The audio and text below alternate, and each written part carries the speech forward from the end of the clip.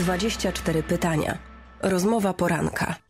Mamy y, drugiego gościa poranka w tej głównej części. Pan poseł Michał Szczerba z klubu Platforma Obywatelska Koalicja Obywatelska. Dzień dobry. Dzień dobry, witam pana, witam państwa. Panie pośle, nie zmienicie nazwy klubu na y, y, jeszcze szerszą koalicję? Pani Lubnauer powiedziała, że ona nie chce zmieniać y, Nie, przynależności. Myślę, ta, ta, ta nazwa, którą aktualnie używamy jest bardzo czytelna dla naszych wyborców. Z jednej strony e, to jest Platforma Obywatelska, to jest komitet, z którego szliśmy. Z drugiej strony e, ta współpraca z, e, z częścią opozycji zaowocowała koalicją obywatelską. Więc zobaczymy. Myślę, że mm, koalicja europejska, z którą startujemy teraz do wyborów do Parlamentu Europejskiego się sprawdzi.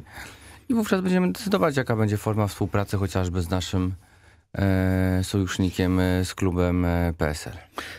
Panie pośle, a kiedy ujawnicie listy takie pełne tej koalicji europejskiej? Bo na razie jest dużo plotek. Y, 10 dni, dwa tygodnie? No, nigdy nie było tak wielkiej koalicji, e, aż tylu partii politycznych, środowisk, e, więc nie jest to rzecz e, łatwa skonstruowanie dobrych list, a miejsc, e, wiemy, jest tylko e, 52. Natomiast e, zgodnie z e, Ale harmonogramem... macie 130 do obsadzenia. No tak. Bo tylu i- kandydatów może być na to. Oczywiście Na w- możemy, to nie jest jakaś tajemnica, mogę ujawnić Państwu, że, że będą kandydowali e, z jedynek e, e, tacy ludzie jak chociażby Jerzy, Buzek czy, czy Janusz e, e, Lewandowski. To są, e, to jest były komisarz, to jest był przewodniczący Parlamentu Europejskiego.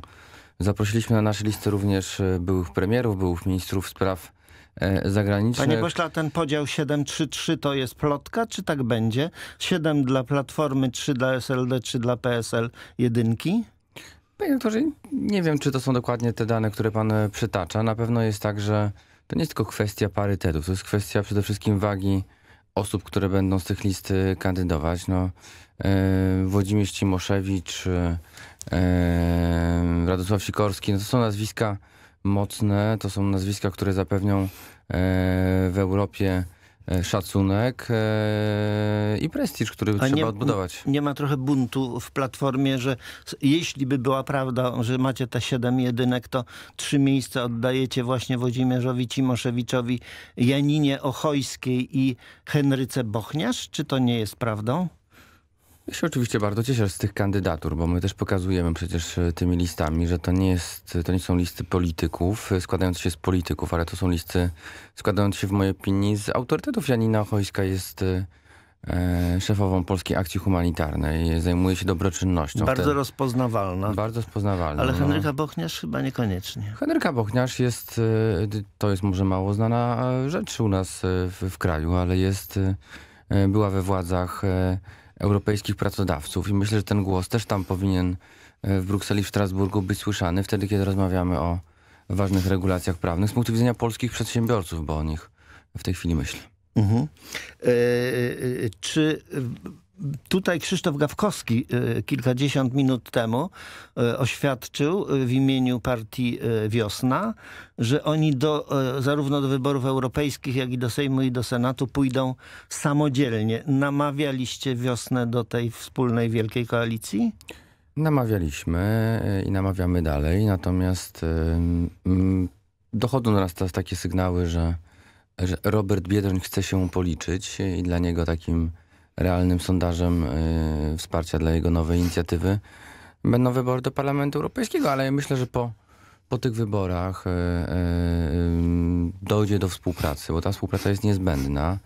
Myślę, że te wybory też pokażą, pokażą że Polacy cenią duże bloki polityczne, wyborcze, które budzą nadzieję, budzą optymizm, które dają szansę odsunięcia PiSu od władzy, ale również zbudowania dobrego, nowoczesnego programu, atrakcyjnego z punktu widzenia e, tego, że w, w, w głównym punktem naszego zainteresowania powinna być praca, jej wspieranie, jej wydłużanie, jej e, zachęcanie do aktywności, bo no to już Adam Smith powiedział, że źródłem bogactwa narodów jest e, praca i wokół tego programu będziemy budować nasze propozycje. Panie pośle, jak czytam pana biografię, to był pan młodym konserwatystą. Był pan, zakładał konserwatystów w AWS-ie, potem był pan członkiem stronnictwa konserwatywno-ludowego. Czy pan ewoluował, czy Platforma ewoluowała? Bo sporo ludzi lewicy będzie na listach i w, w polityce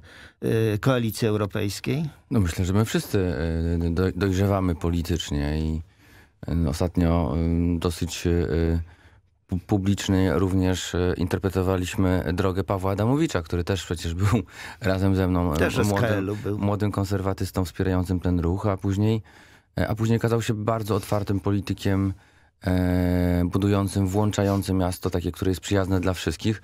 Mam wrażenie, że podobny styl rządzenia, podobny styl prezentuje w tej chwili Rafał Trzaskowski, który, który dzisiaj będzie e, obchodził 100 dni swojego e, swojej obecności. Będzie jakieś podsumowanie w, warszawskim ratusza? Tak, zapraszam Państwa na, na, na dziewiątą do ratusza na konferencję prezydenta e, Trzaskowskiego. To będzie naprawdę imponujące, e, imponujące sprawozdanie, jak dużo się udało w ciągu tych 100 dni e, przygotować i wdrożyć. I nie jest to e, wrażenie takie, że e, karta LGBT+, że hostel dla e, e, tych środowisk, że zmiana nazw e, tablic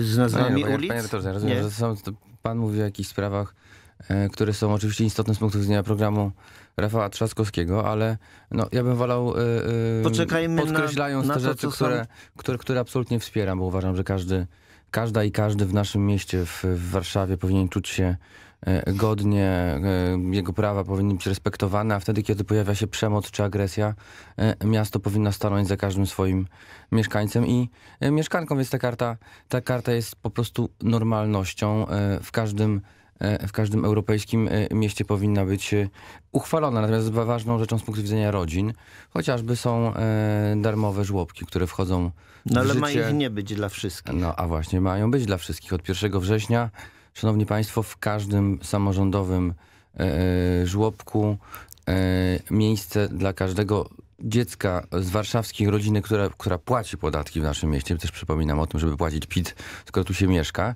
Nie być tak jak Patryk Jaki, który mieszkał 8-9 lata, a, a zarejestrował się e, w Urzędzie Skarbowym wtedy, kiedy... 800 tysięcy e, mieszka, ale chyba nie płaci. No właśnie, więc zachęcamy. Każda, każda rodzina, która będzie płaciła PIT, będzie miała bezpłatny żłobek. Jeżeli nie, e, nie starczy e, miejsc w żłobkach e, samorządowych, miasto wykupi pulę 10 tysięcy miejsc w żłobkach prywatnych, więc zaspokoimy tym samym wszelkie potrzeby w tym zakresie, ale to jest nie wszystko, bo oczywiście będziemy budować i żłobki, i przedszkola, i 15 kolejnych szkół. A co najważniejsze, no, już na jesieni pojedziemy kolejnym odcinkiem drugiej linii metra, dojedziemy z Targówka e, pod ratusz e, Bemową. Myślę, że to będzie bardzo ważne ułatwienie, ale z drugiej strony postulat, który prezydent Trzaskowski prezentuje, czystego powietrza, bo e, to komunikacja spowoduje w 62% zanieczyszczenie i smog w naszym mieście. No były pretensje, że z tym smogiem 100 dni mija i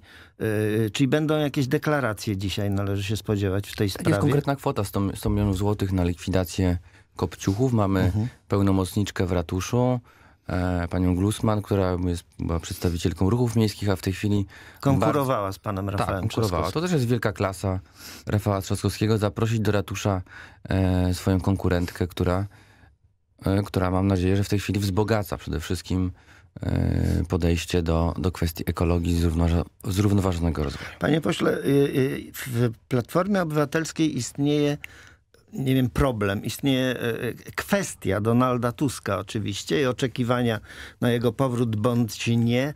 Pan by przyjął y, z zadowoleniem powrót Donalda Tuska pod koniec 2019 roku do polskiej polityki, a jeśli tak, to w jakiej roli? Nie spotkam e, w mojej partii politycznej, w Platformie Obywatelskiej osoby, która by nie chciała powrotu Donalda Tuska i jego wsparcia e, również dla prodemokratycznej, proeuropejskiej e, koalicji. E, Ale oczywiście nasze nadzieje związane są z rokiem 2020. To tutaj mam nadzieję, że Donald Tusk może odegrać swoją istotną rolę, no jako przede wszystkim kandydat Zjednoczonej mam nadzieję, że już wtedy nie opozycji, bo będziemy rządzić e, od jesieni, ale Zjednoczonych Sił e, Prodemokratycznych, proeuropejskich e, na prezydenta Rzeczpospolitej Polskiej. Będę mu w tym, w tych, w tych decyzjach, no, które on musi sam podjąć, kibicował i mam nadzieję, że, że ta decyzja będzie dla nas wszystkich korzystna. I nie ma problemu między Grzegorzem Schetyną a Donaldem Tuskiem w kwestii tego, w jakiej roli miałby Donald Tusk wrócić? Nie, absolutnie nie ma. No, wszyscy wiemy, że ambicją każdego polityka i przewodniczącego każdej partii politycznej, no może poza jedną osobą, myślę o panu prezesie Kaczyńskim, który z naturalnych względów się wycofał jako osoba mało popularna e, e, i zresztą tę deklarację złożył już w kampanii, e, że nie będzie premierem. Ambicją każdego przewodniczącego jest bycie premierem. Grzegorz Schetyna stoi na czele E, gabinetu cieni Platformy Obywatelskiej, w którym również mam zaszczyt e, zasiadać, będąc odpowiedzialnym za politykę senioralną i e, Grzegorz Schetyna jest kandydatem na premiera, ale to są również uzgodnienia w ramach koalicji, która powstanie po, po wyborach do Parlamentu Panie pośle, a pan sam wybiera się do Parlamentu Europejskiego? Panie redaktorze, mm, ja jestem otwarty na każdą propozycję, którą E, e, e, którą, którą może mi przedstawić moja partia. Natomiast na dzień dzisiejszy jestem zainteresowany kandydowaniem do Sejmu i zajęciem się i odbudową tak naprawdę polityki senioralnej, którą mam wrażenie ten rząd całkowicie zaprzepaścił.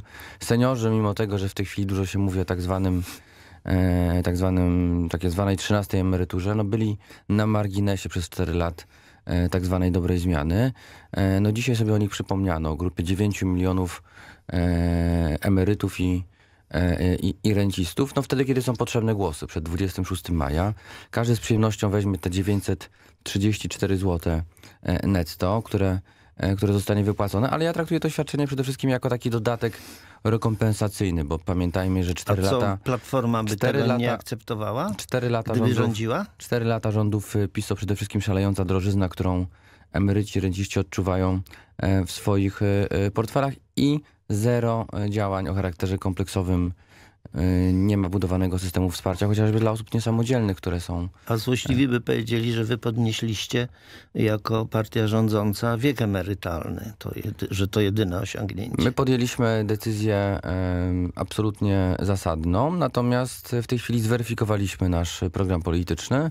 Utrzymamy wiek emerytalny, który jest obecnie e, wprowadzony, jednocześnie stwarzając cały szereg zachęt e, e, przede wszystkim finansowych dla tych osób, które osiągną wiek emerytalny. To a nie się nie różnicie od obecnie rządzących, bo oni nie, też nie, tak mówią. Nie, właśnie my mamy konkretny projekt, który czeka na rozpatrzenie od listopada. I to jest, to jest pań, pański projekt może jakoś firmowany? To jest, skoro pan odpowiada za tę część to polityki jest mój projekt, ja jestem jego, jego, jego, przedstawicielem. Chodzi o to po prostu, jeżeli ktoś osiąga 60 lat, kobieta, 65 mężczyzna, nie decyduje się przejść na emeryturę, e, chce dalej pracować, w tym momencie państwo zaczyna płacić za niego składkę na ubezpieczenie społeczne. To jest wzrost realnych dochodów takiej osoby e, bardzo istotny, e, ale także korzyść dla, dla pracodawcy, e, który ma e, e, który ma sprawdzonego pracownika i którego koszty pracy również są mniejsze. Problemem dla jednej trzeciej polskich firm jest to, że brakuje rąk do pracy, brakuje odpowiednich e, pracowników i chcemy to zmienić. Panie pośle, e, e, taki wątek troszkę osobisty. Pan słynie takiej waleczności politycznej. Mnie to się kojarzy z pańskim ojcem, którego bardzo dobrze pamiętam z młodości jako świetnego boksera, wyjątkowego technika. Jego styl walki mnie, mnie bardzo imponował zawsze. Czy Y, y, ma pan coś wspólnego z ojcem, jeśli chodzi o, o, o ten styl uprawiania polityki? No nie wiem, mój tata nie jest politykiem. Na pewno mam... Radnym Bemowa Jest został. radnym, jest, jest osobą apolityczną. Nie, w sensie stosunku do życia i do jest, wyzwań. Jest osobą apolityczną, apartyjną. Nigdy nie był członkiem żadnej partii politycznej. Natomiast oczywiście jest sympatykiem e, E, e, Platformy, Koalicji Obywatelskiej, czy też za chwilę Koalicji Europejskiej. E, co do waleczności, no oczywiście ta waleczność no, jest okupiona latami treningów mojego ojca i, i pamiętajmy, że... Ale namawiał pana do boksu? Nie, nie namawiał mnie do boksu, pokazywał mi boks w tym sensie, że zapraszał mnie na zgrupowania sportowe. Ja też znam podstawowe techniki bokserskie, których na szczęście nie muszę używać na wiejskiej. Natomiast mówiąc bardzo wprost, i w polityce, i w, w sporcie potrzebna jest dyscyplina, sumienność i też myślę, że zasady fair play, którym, którym też próbuję sprostać, bo mój ojciec przecież nie przypomina. Przypomnij dwukrotny medalista olimpijski. Dwukrotny medalista olimpijski. No szkoda, że nie trze- trzykrotny, bo przecież był gotowy na olimpiadę w Los Angeles, na którą e, Nie- polska nie reprezentacja wolno nie, było pojechać. nie, poleć, nie poleciała. E, Panie pośle, Krzysztof Brejza, pana kolega z klubu i partii, twierdzi, że w NBP mamy państwo szejków arabskich. Mówi tak po ujawnieniu zarobków w Narodowym Banku. A wie pan może, ile zarabia prezes Centralnego Banku Czech, czyli państwa mniejszego od Polski i banku o mniejszym znaczeniu? Nie mam pojęcia, ale ja nie mam żadnego problemu, panie redaktorze. 920 tysięcy złotych w przeliczeniu, pan e, Adam Glapiński 756 tysięcy i płace dyrektorskie w Banku Czech są od 555 do 735 tysięcy złotych rocznie, podczas gdy najwyższa płaca dyrektor Wojciechowskiej 595 tysięcy złotych, No czyli, nie no, panie redaktorze, czyli no, to, są, to jest pomieszanie dwóch systemów. Po pierwsze, ja nie mam żadnego problemu, żeby prezes Banku Centralnego, czy to w Polsce, czy w Czechach, czy w innym kraju, zarabiał dobrze, bo przecież... Czyli w e, więcej. Przecież zarabia. prezesi, których mieliśmy, Leszek Balcerowicz, Hanna Gronkiewicz-Walc, była wicepre, wiceprezes Eboru, czy też e, Marek Belka, to są wybitni fachowcy.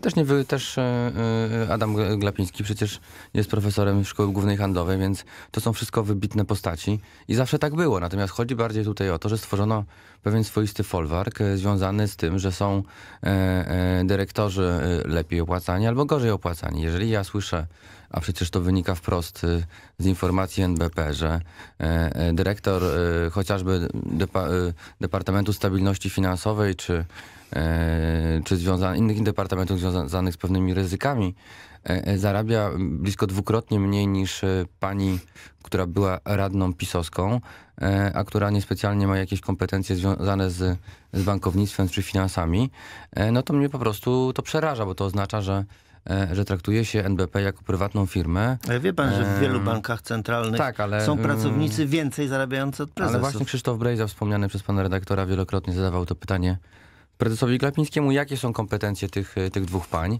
Szczególnie, że te panie nie tylko e, otrzymały stanowiska dyrektorskie, co też jest oczywiście dyskusyjne, natomiast e, zostały wysłane e, przez prezesa Glapińskiego do, bank, do Rady Bankowego Funduszu Gwarancyjnego i do Krajowego Depozytu Papierów Wartościowych. Nie wierzy pan, że ktoś przez 15 lat może nabyć kompetencji Nie, panie redaktorze, dziedzinie? w tych dwóch y, y, radach, kluczowych radach z punktu widzenia te, te, tego, czym zajmuje się NBP, zawsze byli wybitni fachowcy, e, właśnie dyrektorzy tego wspomnianego Departamentu Stabilności e, Finansowej. Oni zostali wyrzuceni ze swoich ról e, i panie, które no, powiedzmy mają osiągnięcia średnie, jedna chyba ukończyła e, licencjat z, z reklamy.